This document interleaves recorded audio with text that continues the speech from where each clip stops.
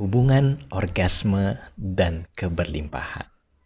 Mengapa Mas tiba-tiba mendadak bicaranya pelan, berbisik-bisik? Ya, karena hal ini adalah wilayah yang amat sangat sensitif yang ada di Indonesia.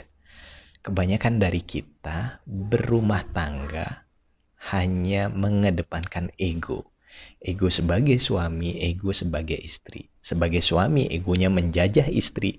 Sebagai istri, egonya hanya melayani suami. Dan inilah awal jeleknya keberlimpahan dalam kehidupan kita.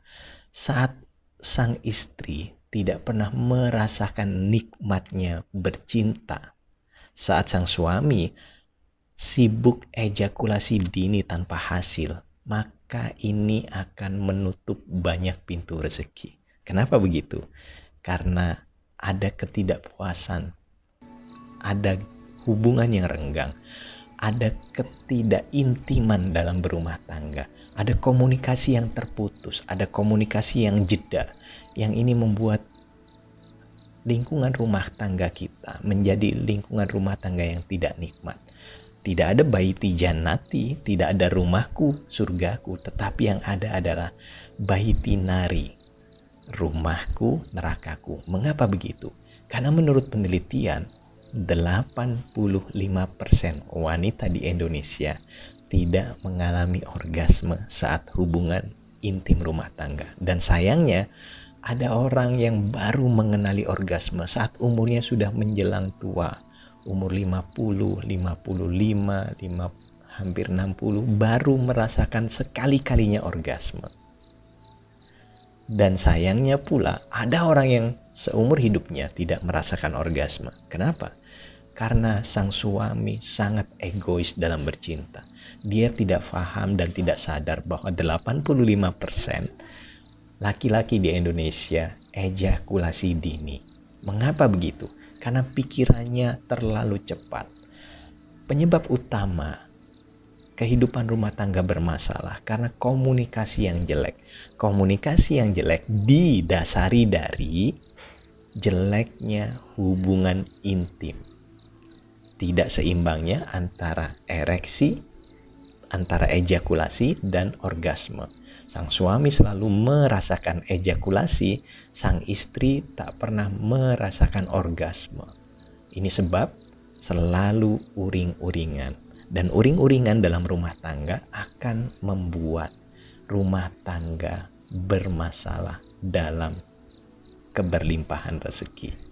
Kenali, fahami, dan sadari itu. Lalu bagaimana mas cara utamanya? Cara utamanya adalah bangun komunikasi yang baik bangun kedekatan, perlama foreplaynya. Tanya dari hati ke hati, mau seperti apa hubungan intim kita, mau gaya seperti apa, terbukalah, terbukalah. Karena segala sesuatu saat Anda sudah bersuami istri itu boleh Al aslu fil asal al ibaha illa makoma alaihi dalilun. Segala sesuatu itu boleh kecuali ada dalil yang melarangnya. Nah, bercinta dengan berbagai gaya, berbagai metode, berbagai jenis itu amat sangat boleh saat Anda sudah sah berumah tangga. Dalilnya adalah nisa hukum harsulakum fatu harsakum anasyiktum pasanganmu adalah sawah ladangmu. Terserah deh Anda melakukan apa pun pada dia. Yang penting niatnya adalah sama-sama untuk saling memuaskan, sama-sama untuk saling berbagi cinta, sama-sama membangun cinta, membangun energi kebaikan.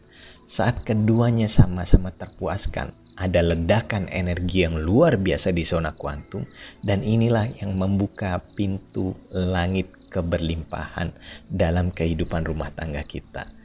Sayangnya, kita akan amat sangat susah berlimpah dan berkah rezekinya saat pasangan kita tidak pernah orgasme.